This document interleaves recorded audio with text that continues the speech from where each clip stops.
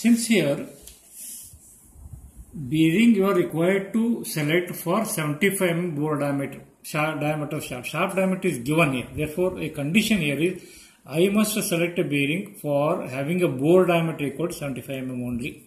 Therefore, when I go for the bearing catalog here, 62 series I am going to refer.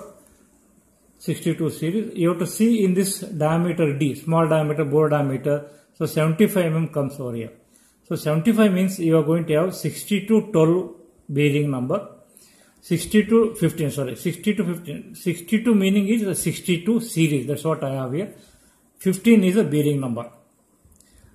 Okay, then it will have dynamic load rating as a 50.6 kilonewton. Therefore, I select that bearing for a 75 mm diameter as a 60 to 15, having a C as a 50.6 kilonewton.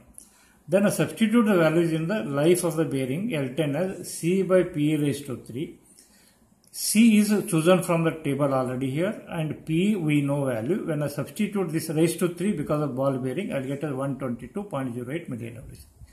That means that this bearing is having a life of 122 million revolutions whereas the required life of the bearing is 61 only.